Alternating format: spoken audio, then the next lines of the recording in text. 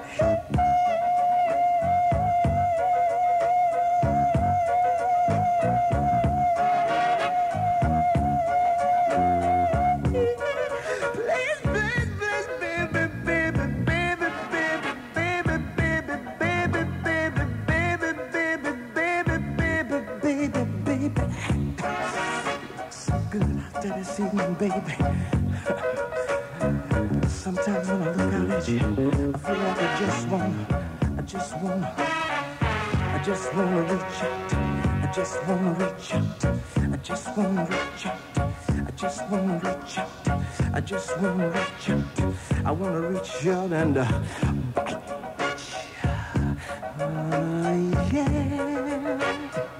And I just wanna ask you one thing, baby.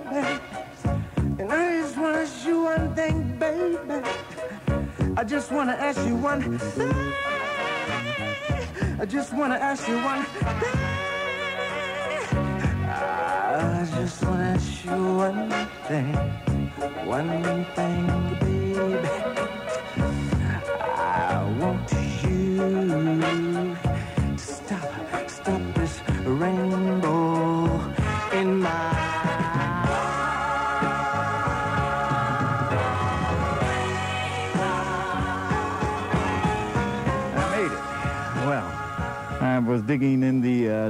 Record vault for another album. There's another album. I got an import album on Gene Chandler, and I didn't find it.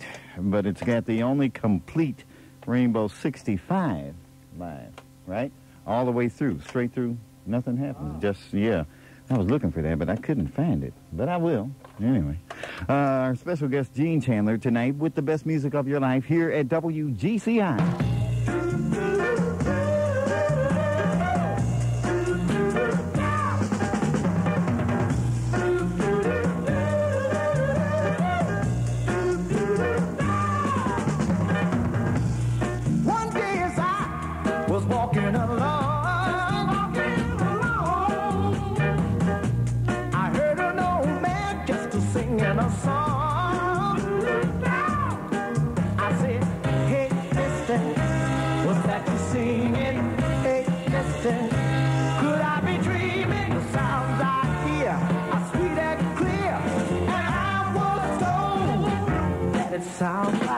Soul.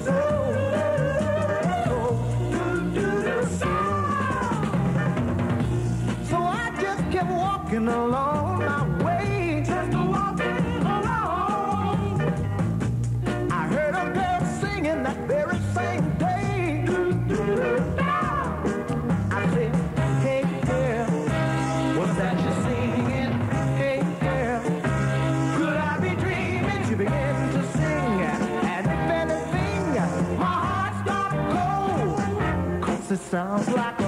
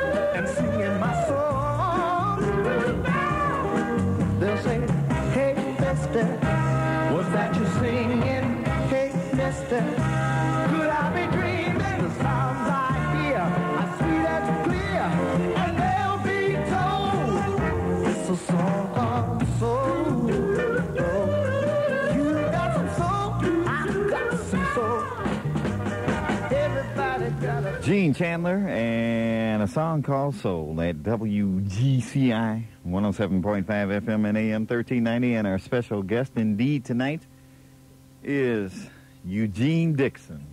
Who's that? Yeah, right. That's your name. Come on. Admit it. Okay. Okay. Where you been? Oh, just for the last year, I've been recording, you know, my new album, Uh-huh. Your Love Looks Good on Me, Uh-huh. and uh, just taking care of my little business and what have you, and staying alive. Hey, uh, I heard you on the air a couple of places, uh, primarily here. The uh, what was it, Thursday or Friday? Right. And uh, everybody Friday. goes, "Hey, man, you sure look good." Thursday, yeah. And and you do, but that's really just a, a matter of fact because you should, you know. And I figured that if I see Gene Chandler, because I, I, what did I do? I started looking for you about uh, about ten months ago. And I said, I said, and some people mistake this. They got it real, really mixed up. I said, if anybody sees or knows the whereabouts of Gene Chandler, tell him I'm looking for him. And um, uh, it was about a week later, your phone number, you called, and Right. you left your phone number, but I couldn't get right back to you. And then I didn't hear from you until the new album came out. yeah. you I know.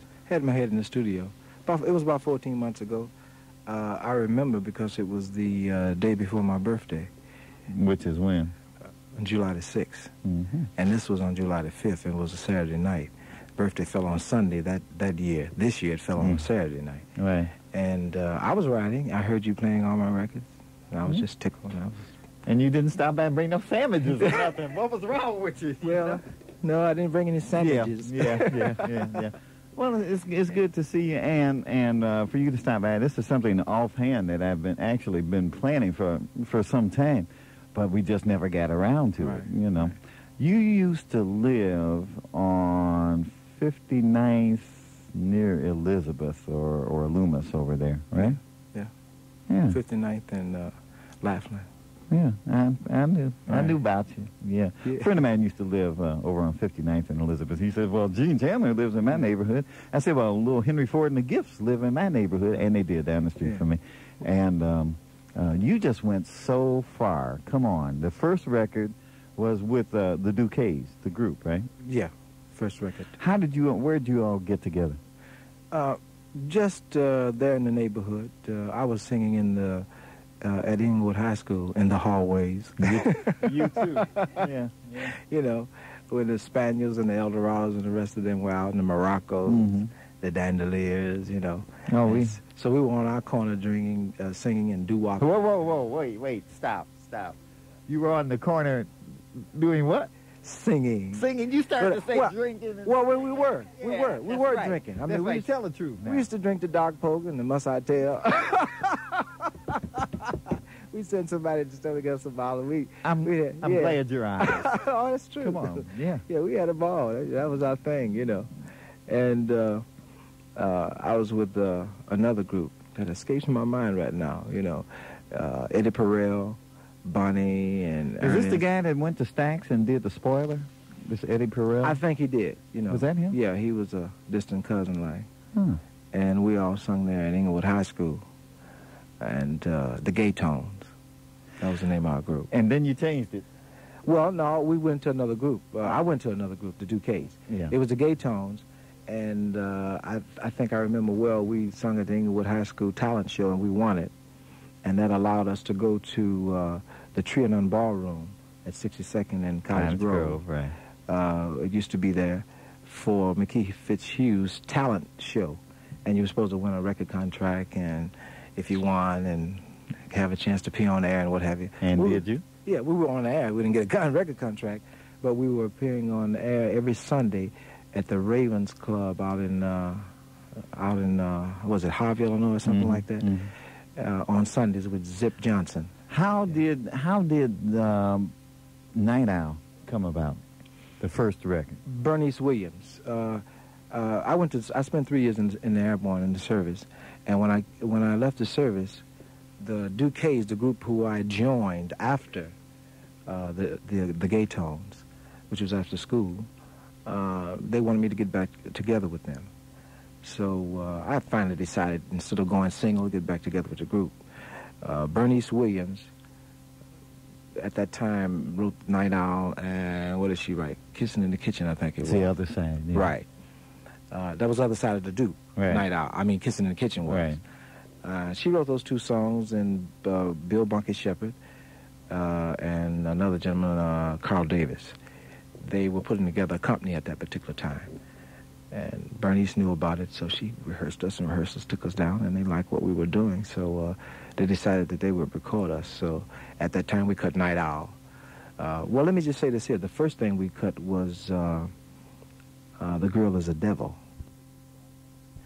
Uh, we released that, and the second re- uh, session that we were in, we cut Night Owl, and then we cut The Duke of Earl. Were you uh, were you scared at your first session? I mean, were your knees knocking? Did they have to tie your knees together to keep you cool? Or? You know, it's hard for me to remember, but I don't think so. I think I was so, so brash and so out there, you know, that I just thought I could do anything at that particular time. You had a little attitude, altitude. Yeah, Yeah, okay. yeah, Yeah, yeah. you know.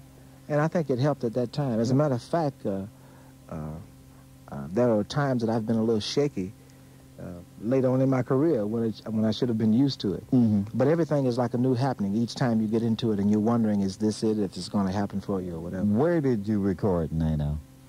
At the Universal Recording Studios. At that time, we were recording at the same time the band was playing because it was only, I think, four tracks or something of that nature. Not Two even tra- that many, huh? Right, maybe Yeah. two tracks or Yeah, something. yeah. And the session went like this. WGCI.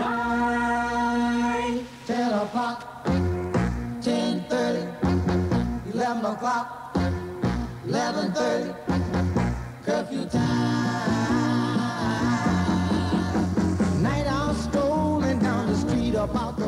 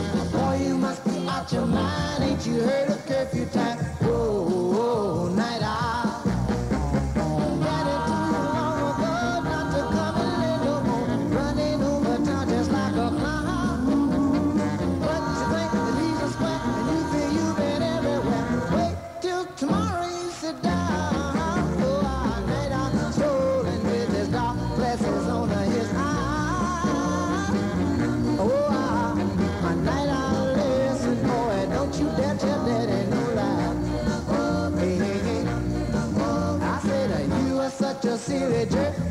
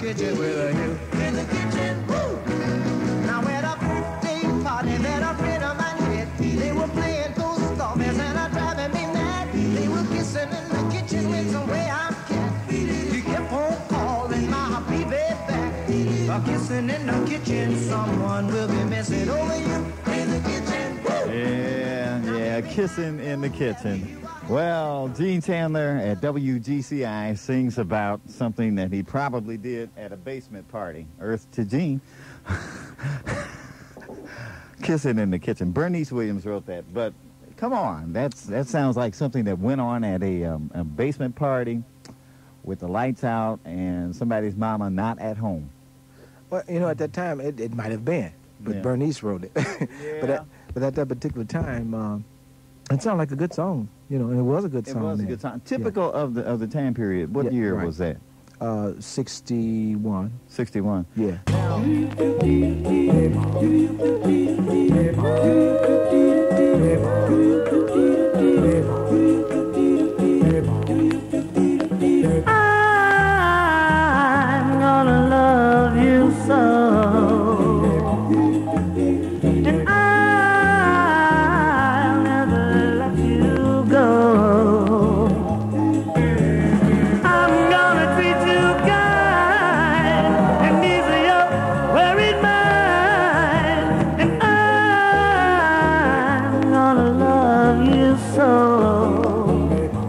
And you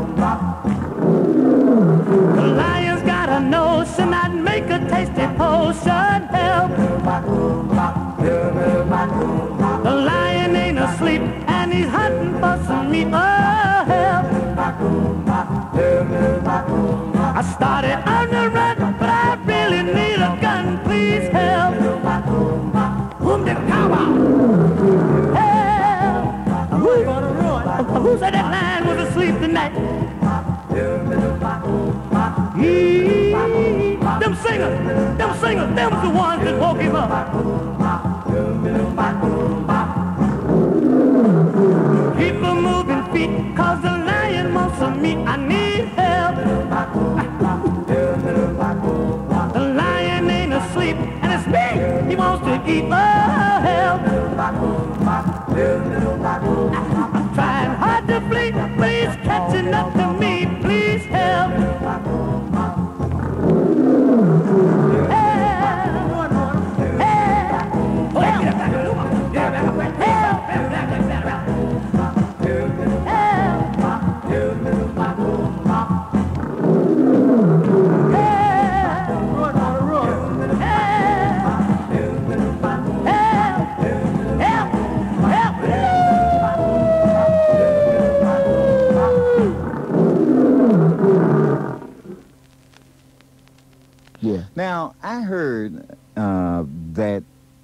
Duke of Earl and Night Owl and Kiss in the Kitchen were all done at the same time.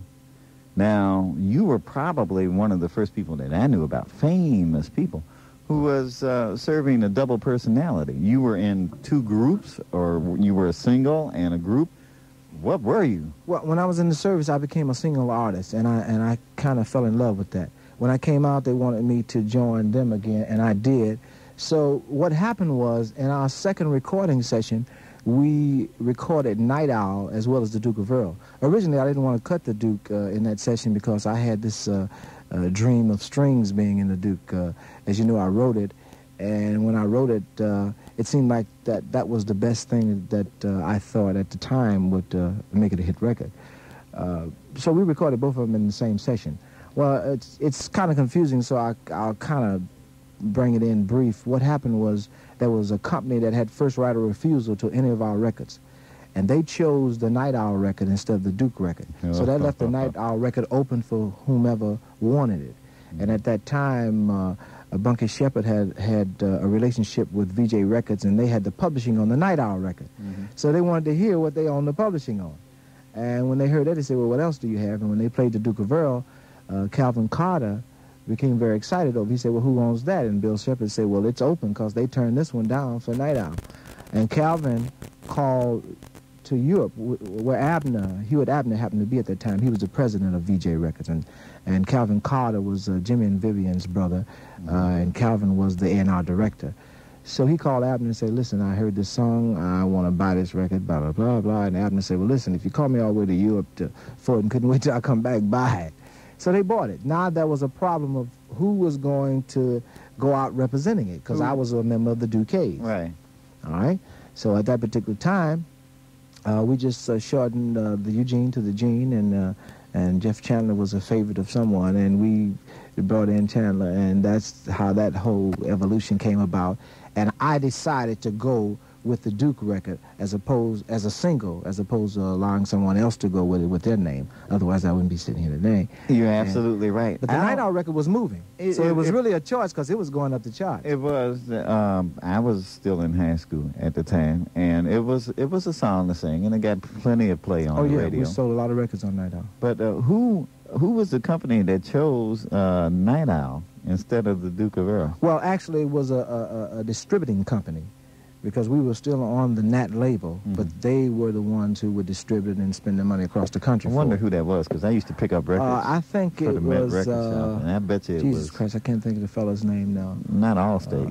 Uh, I think it was Bill Laskell. I think had something to do with it. No, it wasn't Allstate. It was a fellow from out of town. I think Bill Mhm. Laskell. well, B- Bill Lasley. Yeah, I think. I know. I think he had something to do Yeah, with it. Yeah. And I decided to go with the Duke, and there was a chance, but uh, as you know, it came out and bingo, zoom, up the charts it went The like best that. music of your life. Duke of Earl, Duke, Duke, Duke of Earl, Duke, Duke, Duke of Earl, Duke, Duke, Duke of Earl, Duke, Duke, Duke of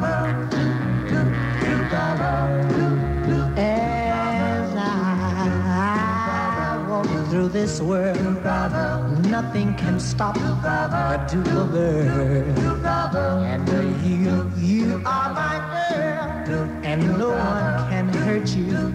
Oh no, yes I.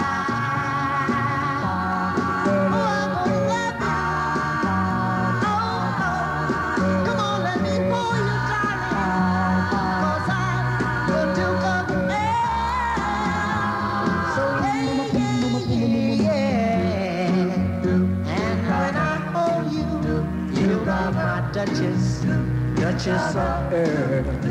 We'll walk through my dukedom and the paradise we will share. Yes, I.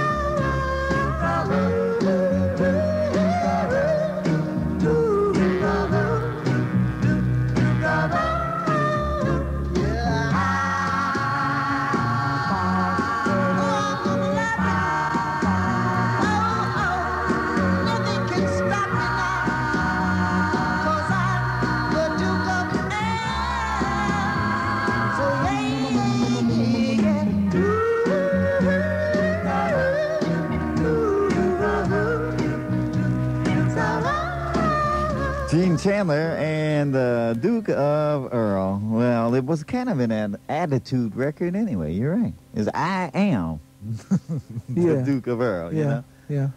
And then what happened after that? You had some follow-ups, right? Well, I had a follow up, Walk On with the Duke. They wanted to come with that that particular song. I didn't really uh, uh, like that. I didn't think that that was a record, but they uh, considered Duke of Earl like a novelty type tune, and they figured let's stay in that vein. I wanted to do some serious singing, and uh, so we had our little problems. The Walk On with the Duke did not happen for him, and so we uh, I happened to be on the road with uh, Curtis Mayfield on a tour and uh, Curtis was- was from Chicago, uh, as I was, and he began to play uh, some tunes for me to record. And Rainbow was one of them. And he said, "Oh, you can't do that," because he was thinking about the Duke of Earl. I said, "You better give me that tune." so when I came home,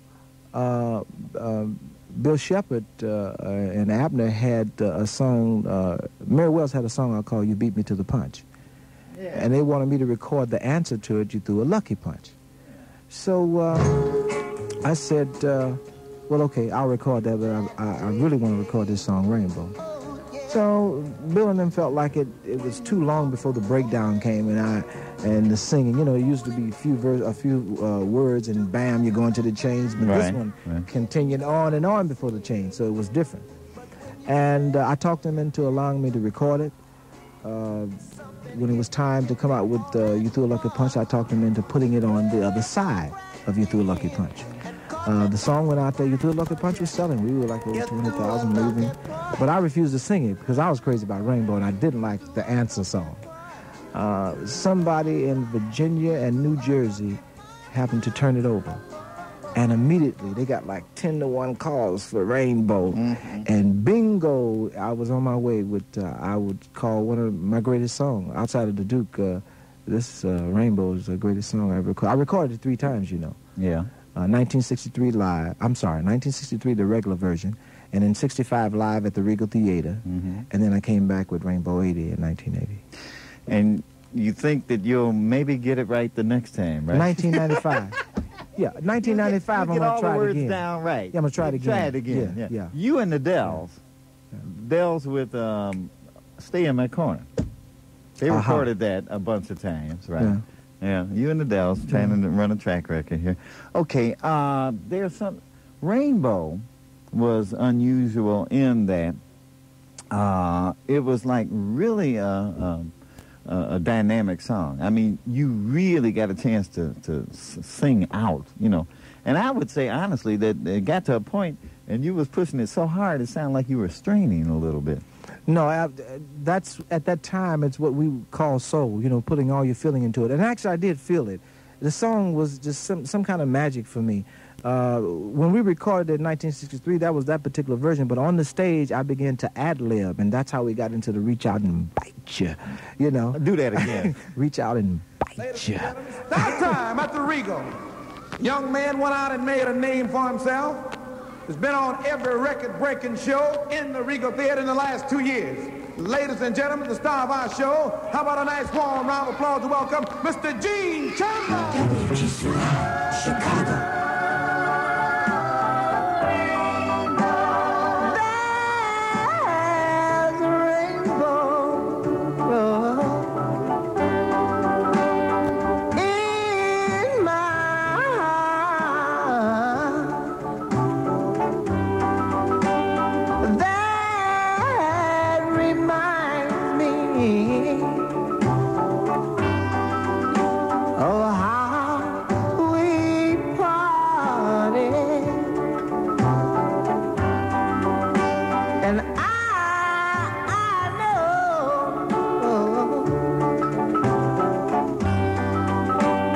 I love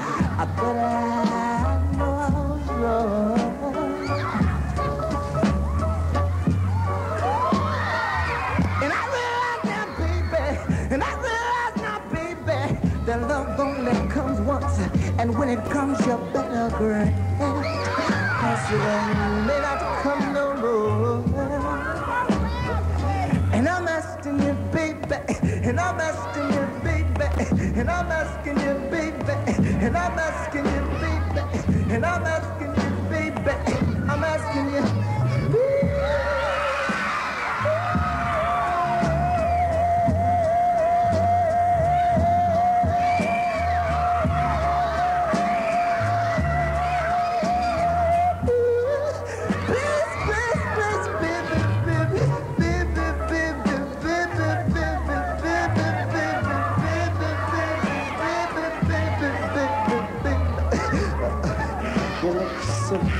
To me, baby.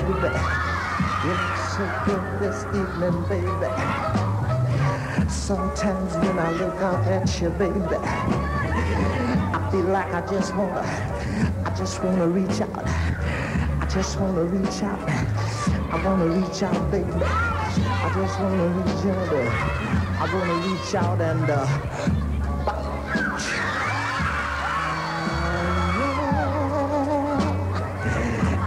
just want to ask you one thing, baby. And I just want to ask you one thing, baby. I just want to ask you one thing. I just want to ask you one thing. I just want to ask you one thing. One thing, baby.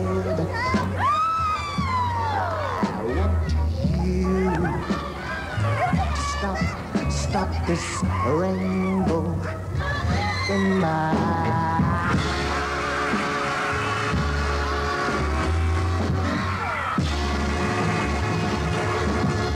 Thank you, thank you. You're very welcome. You're very welcome. Gene Chandler live at uh, the Regal Theater, which is now a parking lot. Boo. Boo. Yeah, but boy, we had some great times in there. I remember going to the Regal and seeing you. My mother was taking me to the Regal Theater. I was reaching up to hold her hand, and you were already up on stage. Boy, you're a few years older than me. I'm Yeah. only kidding. Yeah. Um, but I, I do remember seeing you um, most of the time that you were there. Actually, most of the times that you were at the Regal, I was there. And um, uh, two famous recordings. Um, one, Fingertips, recorded at the Regal Theater Mm-hmm. by Little Stevie, and Your Rainbow, Mm-hmm. Two of the uh, more notable live recordings. Right. Right. Yeah. You know, Regal was a great place. Oh, we were talking to we're talking to Gene Chandler, um, the Duke of Earl, and Gene's current album is called, Your love looks good on me. and the current single is called, Haven't I heard that line before? and we'll find out how Gene Chandler ended up recording uh, another song with Curtis Mayfield that was so good. In fact, I sold a million copies of it across the counter at the Met Record Shop on 58th Street after. Oh, that's where my money went. yeah, after this.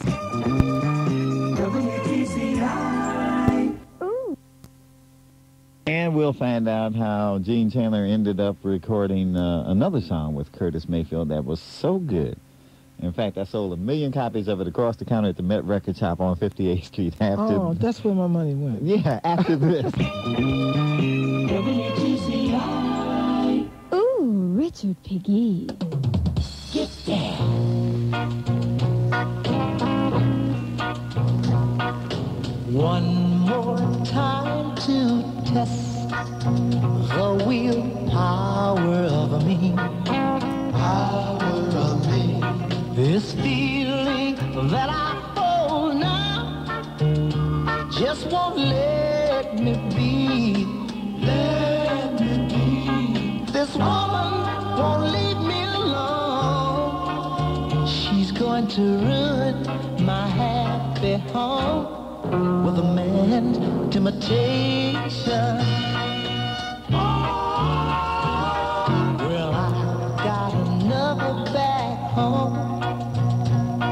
The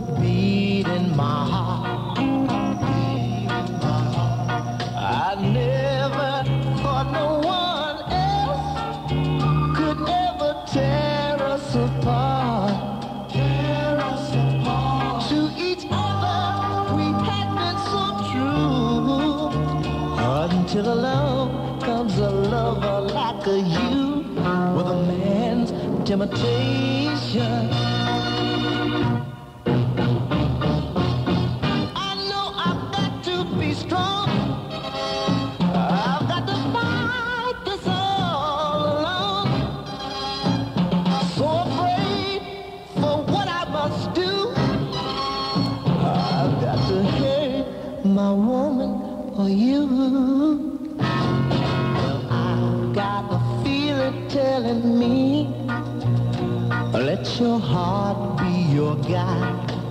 Heart be your guide. I don't want to lose either one, which makes it hard to decide.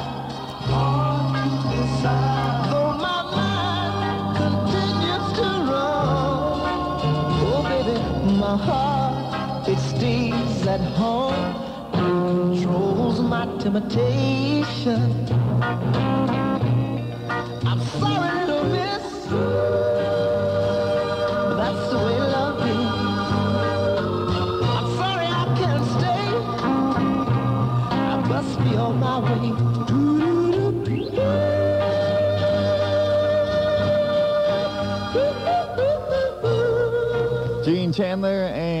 Man's Temptation uh, here at WGCI. Uh, sounds a little bit like uh, uh, one of them preachers. Anyway, um, there's a. I like that record. I like the middle of it.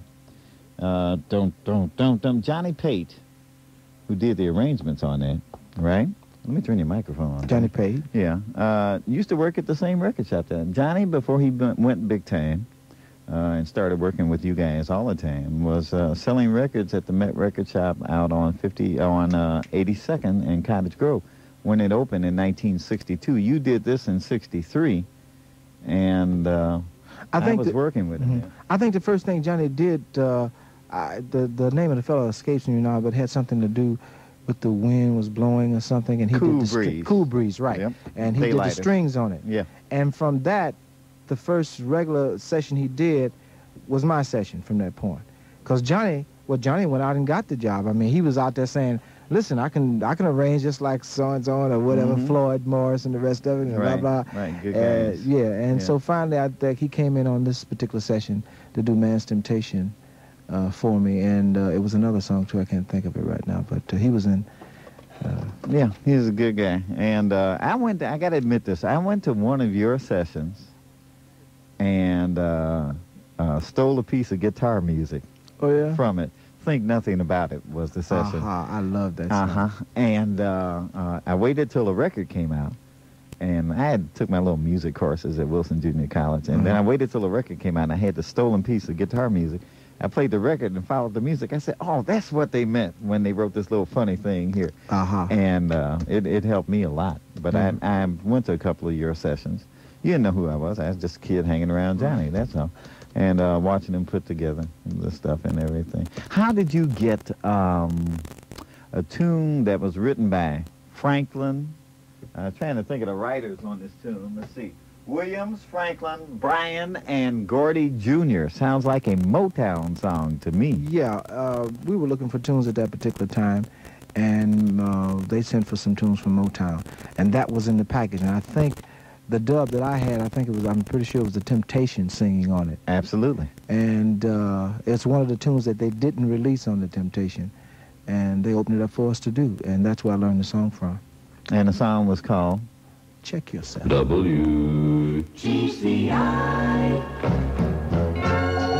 and by, you knew that you'd make me cry.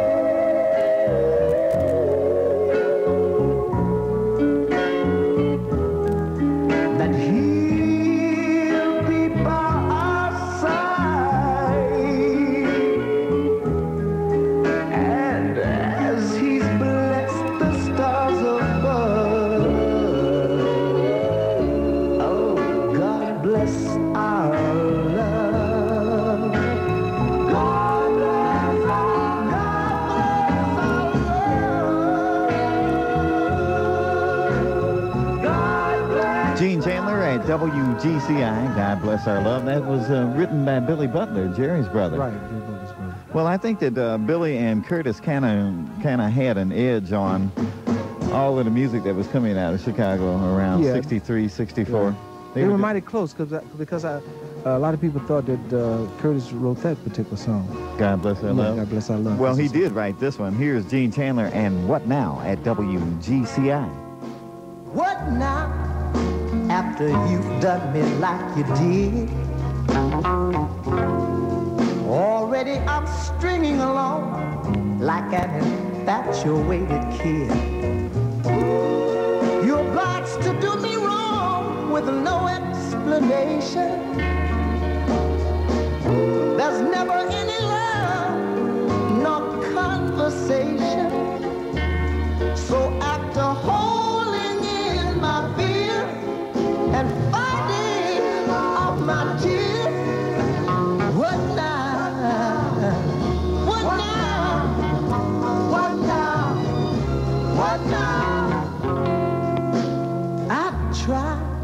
Making my life complete with a you. But it seems there's no value toward people true to you.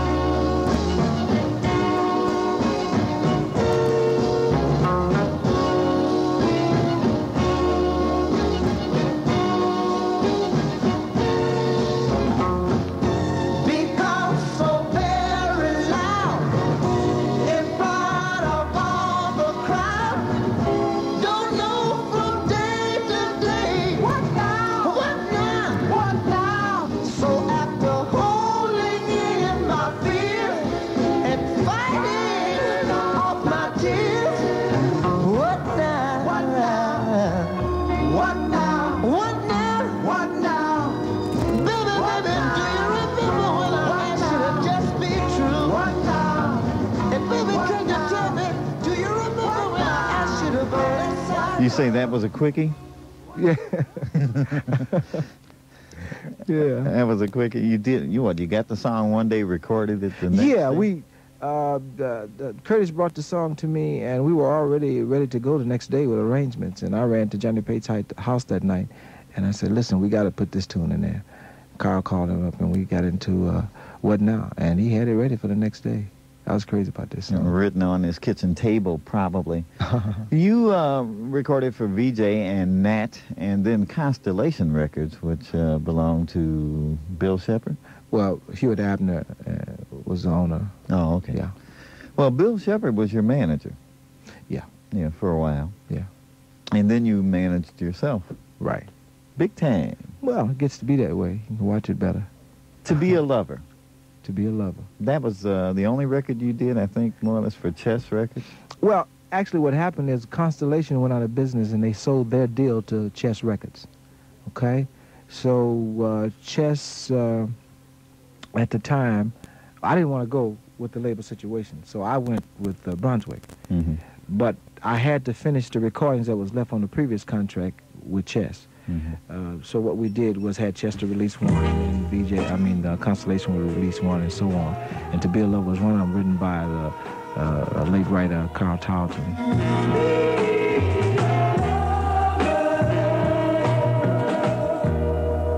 Haven't I proven in many ways that with you is where To be? Haven't I shown you every day just how much you mean to me? But you keep on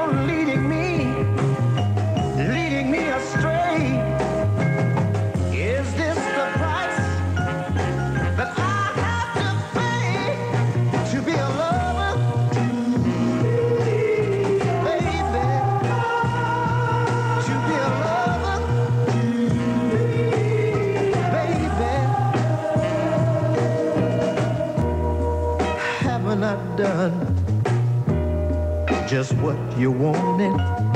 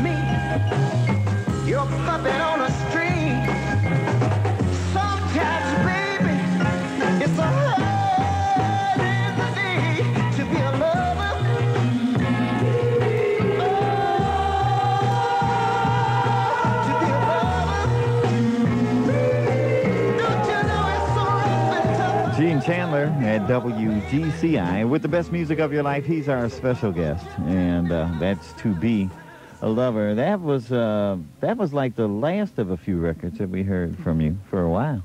Yeah, uh, I don't know. I, I uh, we were with Chess, like I said, and we were with Brunswick, and we came Mhm. out with some other things that was on Brunswick. Uh, we had uh, we had a few things in there that just sold a little bit, didn't do too much, you know. But uh, that's the way it goes in this business. So you can't stay hot every day, every year, especially if you intend to stay out there a long time. It always cool off, and some people cool Yeah. out. Yeah, you know, yeah, absolutely. never come back. Absolutely. You got into management of other groups and uh, other people and music publishing. You got into more or less all of the facets of the business, right? Yeah, I moved on into that particular facet. Uh, uh, it, it was a business I had been in for years, and I thought I could contribute to it.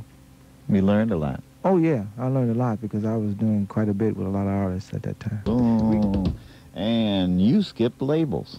Yep, I changed from Brunswick to Mercury Records. Uh, prior to that, I had produced one record on myself, which was "That Was the Time," no James Brown tune, and I went over to Mercury, and this was my first album that I've ever produced, and I produced it on myself, and it was groovy situation. Who wrote this? Some fellas out of St. Louis, uh, Herman and Lewis, uh, were their names. And had no last name. Well, they wrote a good record. A bad girl. I'm gonna make a mind if it takes all night. Can you dig it? Can you dig it? Can you dig it? Can you dig it? A bad girl. I'm gonna make a mind if it takes all night. Can you dig it? Can you dig it? Can you dig it? Can you dig it? Good evening, sweet darling. May I ask your name? You seem to be lonely. Well, don't worry, I'm feeling the same. Oh, it's a good situation. A splendid combination that we should meet at a time like this. Oh, it's a good situation, a splendid combination. You're something that I just can't miss. That girl. I'm gonna make a mind if it takes all night. Can you dig it? Can you dig it? Can you dig it? Can you dig it? That girl. I'm gonna make a mind if it takes all night. Can you dig it? Can you dig it? Can you dig it? Can you dig it? It's been a long time, sweet darling, since love has come my way. But I'm trying so hard right words to say. Oh, it's a good situation and a splendid combination that we should meet at a time like this. Oh, it's a good situation, a splendid combination. You're something that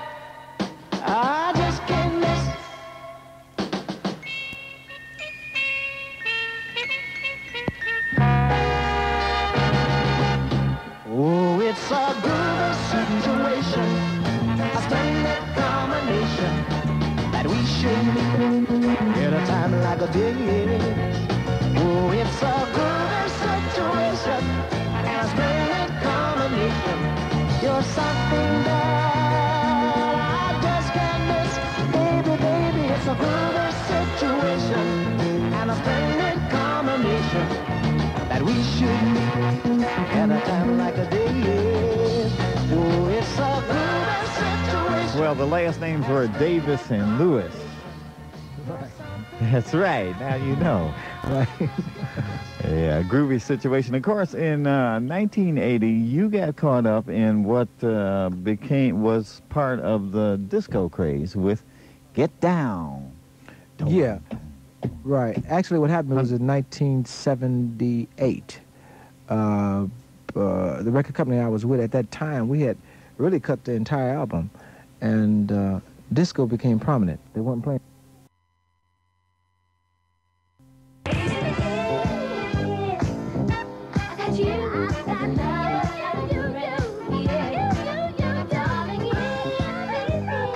This is a personal look at Minnie Riperton on WGCI.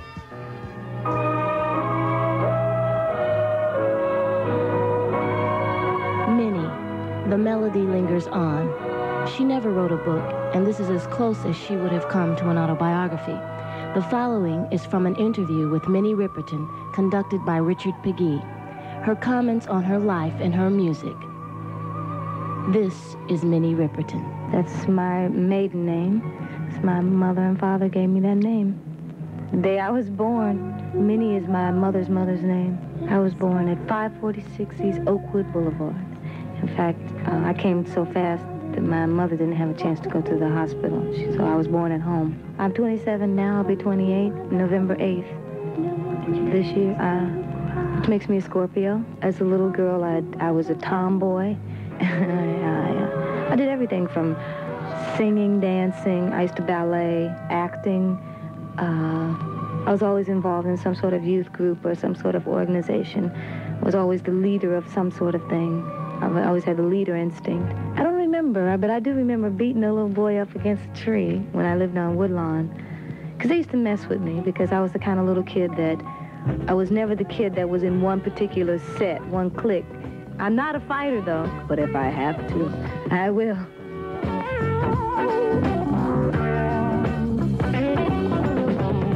The reasons for my life are in a million faces. Like aching promises, I feel them in my bones. I stumbled on this photograph and kind of made me laugh. It took me way back. I've seen pictures of myself when I was a little kid, and I was always hamming it up because all my older brothers and sisters they studied music, you know, in college and uh, just as growing up. So it was inevitable. I, I just wanted to try. I had, you know, that kind of zest, I guess, for for just creativity. Uh, the, I went to Oakland Grammar School uh, around the neighborhood where I lived, where I was born, until I was eight, and we moved. We moved to Woodlawn, and I went to John Fisk, where I really had a, a really good education.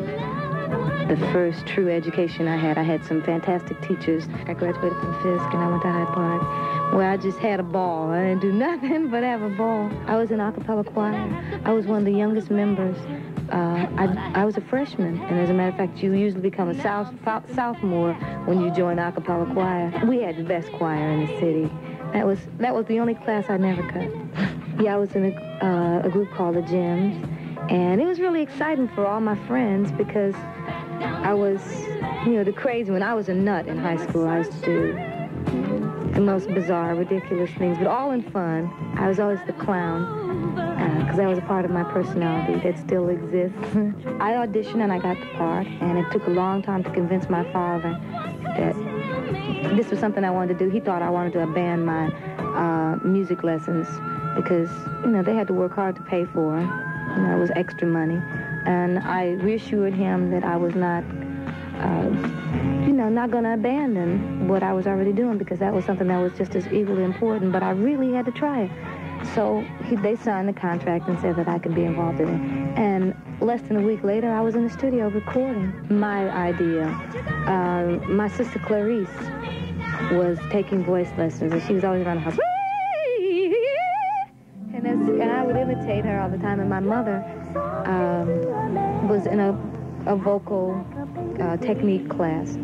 And it was just so fascinating. I would go and see them, and at the end of the year, there was, was a place called Lincoln Center that's on Oakwood Boulevard. Okay, and that's where I first started my ballet and acting and uh, uh, voice lessons there with Marion Jeffrey. And a lady by the name of Mrs. Betts was my ballet teacher. And I really wanted to try rock and roll, you know, because I could get up there and shake a little bit, you know.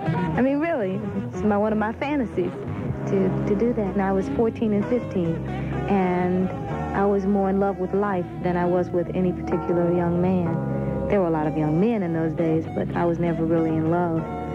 You know, I was infatuated. At the same time, I was meeting all kinds of people. at The Gems with their backgrounds for everybody that came out of Chicago, just about.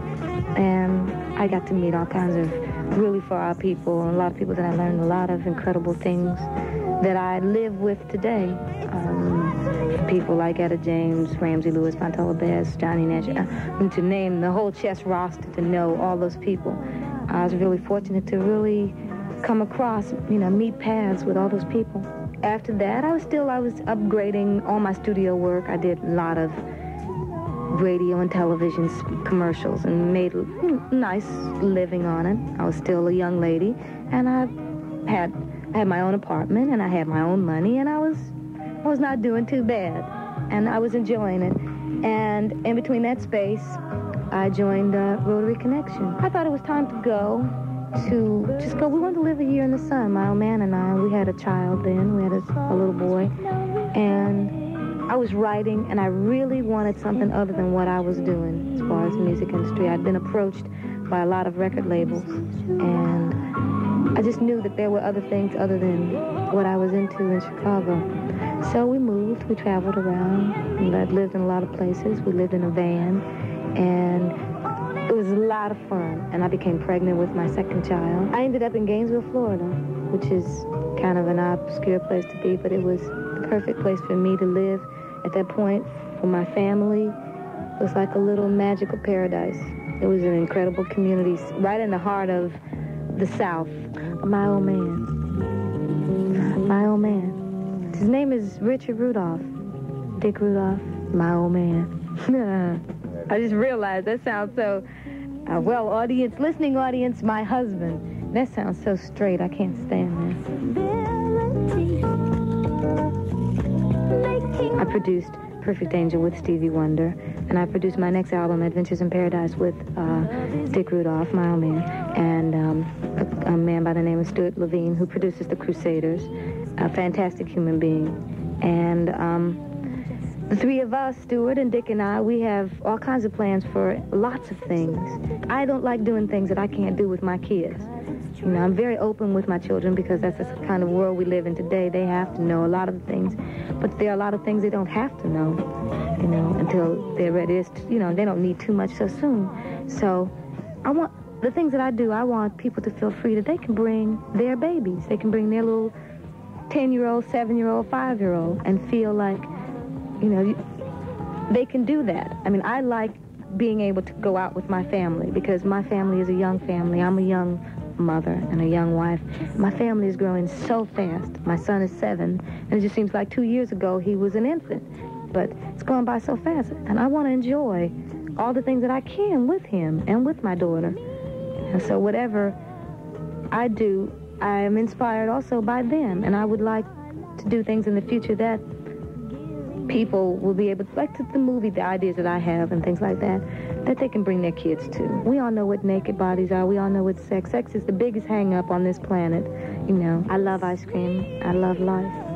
I'm in love with life and music, and I'm I'm very happy. I'm happy that my work is is really getting people off. You know, uh, black people especially. Steve and I had met years ago, and we talked years ago. We worked together about doing that. When I was with Rotary Connection, he wrote a song called "This Town," and Sidney and I sang it, and he just flipped over it, and he wanted to work with me, but there was never the right time. And I was I just moved to L.A. He called me up one day and uh, invited me to the studio that night, and the next thing I knew, we were in the studio because this was something we wanted to do as far as artists and having nothing to do with him being Stevie Wonder or anything like that because I was Minnie Who at that point. You know, you knew who I was and a few other people, but um, he knew, and we just wanted to do something like that, and it was very magical. It was so much fun. He is an incredible human being, and Perfect Angel, Loving You, all of that came from that. It was really an incredible experience working with him, and him playing the piano, playing two keyboards on Loving You, and playing the drums on Reasons and playing harmonica on Our Lives. He played keyboards on on everything, but just working and learning. Um, I was the one who said, I want this and I want that, and he's the one who said, do this, do that. So it was really, it was a lot of fun. I learned an awful lot from him, and he learned a lot from me. and we're very good friends. And I worked with him on his Fulfillingness' First Finale album. He wrote some songs for me. He wrote Creepin' about me and all the kinds of things like that. We had sort of um, a mind love affair because I was married and he was married, and we loved each other, but not, you know, not really. The physical could never happen. So that's how that was. And that's how she was. Minnie, The Melody Lingers On, recorded in 1975, produced by Richard Pegue. May God grant that she rest in peace. Will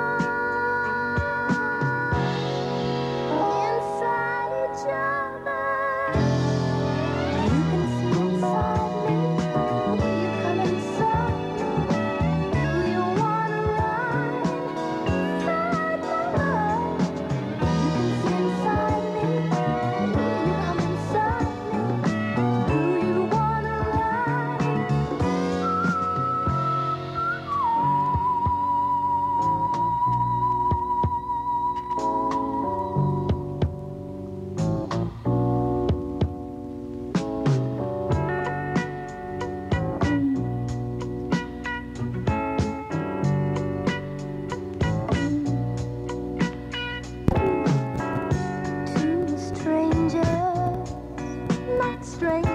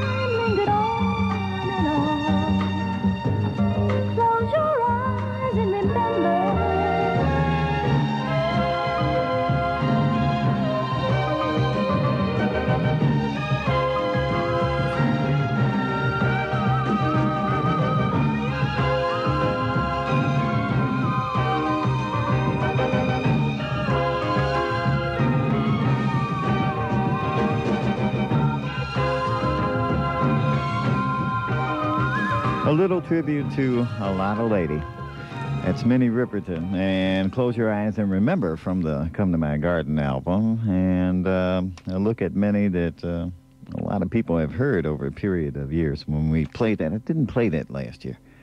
But uh, Clarice, her sister, who, uh, as Minnie stated in the interview, used to take those opera lessons, uh, Clarice could not make it tonight due to babysitting problems, but we're going to give her a call later. Well, uh, let's see. A couple of things to do, including uh,